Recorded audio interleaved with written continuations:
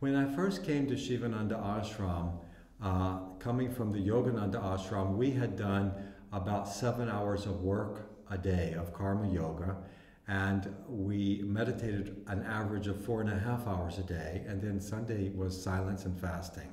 But when I got to the ashram, Swami Chidananda didn't give me any karma yoga for the first two years. And that was extremely difficult for me. And he would go on world tour, and after three or four months, he would come back, and I would say, Swamiji, I need to do karma yoga. Please give me some karma yoga. He'd say, Yes, yes, yes. I'm thinking about it. I'll get back with you. And then he would go on tour again and go all over the world and then come back again, and I would say the same thing. And this went on for two years. So finally, I decided I'm just going to volunteer in some department. I could type really well, so and in the computer department, they were typing Swami Sivananda's books into the into the computer, so I volunteered there. And one time I missed a paragraph. And in any ashram, there's different types of people. And there was one person, a disciple of Swami Shivananda, who did not like Swami Chidananda. So he decided to make an issue of this.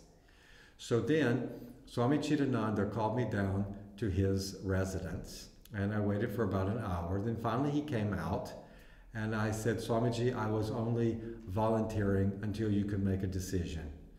And he said, You know, people say that Swami Chidananda cannot make decisions. And they're absolutely right. And I was really shocked by this, you know.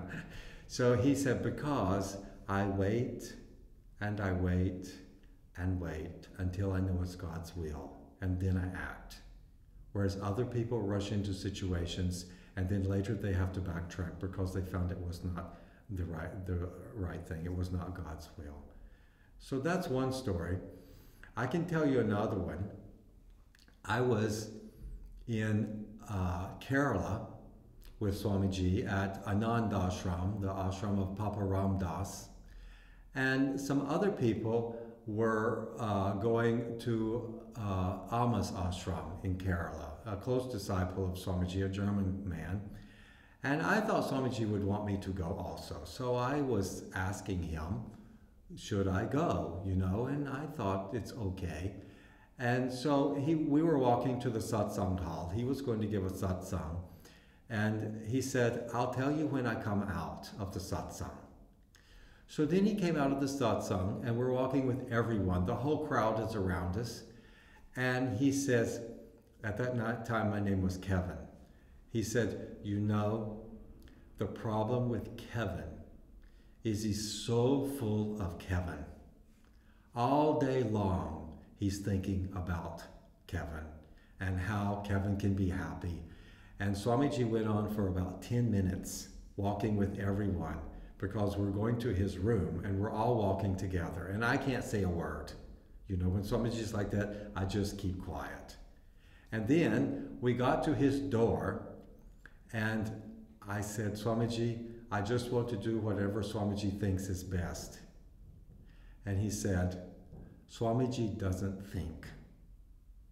And then he says, but he thinks that you should go and have your food now.